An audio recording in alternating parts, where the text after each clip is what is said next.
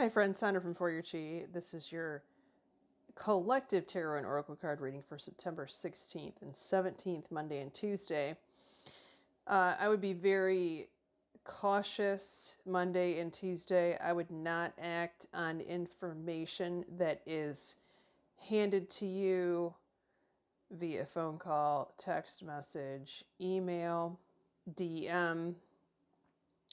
They could be playing you or telling you a story that is false or posing as a person that they are actually not. I would be questioning a lot of information that comes to you Monday and Tuesday rather on rather than act on it. You do have the wait card here. Okay? Hold off.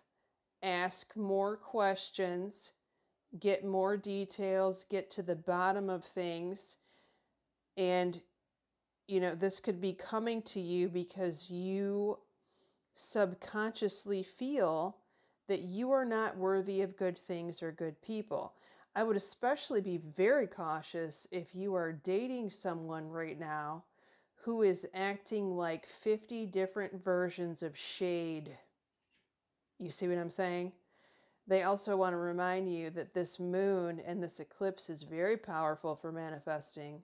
Be very careful what you talk about, uh, what you listen to, you know, your thoughts, and set aside some time for actual manifestation in your affirmations, however you like, visualization, whatever you like to do to bring it in. Blessings. Take care.